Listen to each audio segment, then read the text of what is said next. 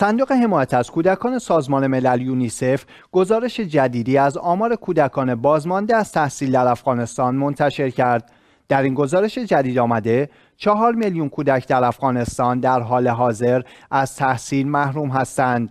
به گفته این نهاد 60 درصد این آمار را دانش آموزان دختر تشکیل می دهند.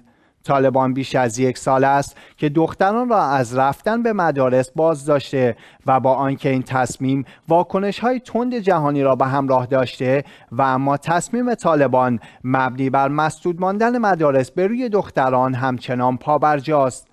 طالبان برای چندمین بار است که وعده بازگشایی مدارس دخترانه در افغانستان را می‌دهد و با گذشت ماهها هنوز بر تعهد خود در قبال دختران افغانستان عمل نکرده است.